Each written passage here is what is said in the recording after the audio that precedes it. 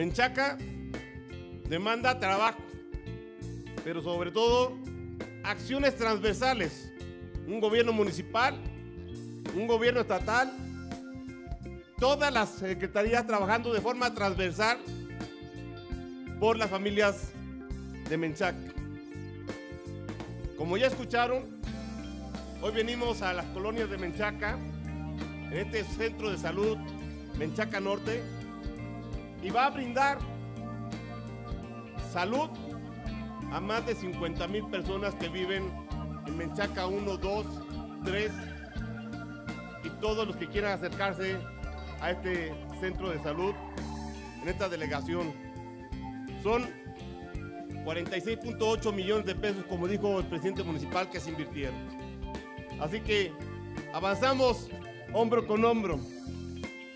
Queremos que tengan tranquilidad en sus calles. Hoy, salud en Menchaca. Ciudadanos que caminen tranquilos sus calles. El cambio sí se puede en la vida de todos y cada uno de ustedes. Y hoy desde aquí le digo que en Menchaca sí se pudo, sí se puede y sí se va a poder. Muy buenas tardes y muchas felicidades a todas y a todos.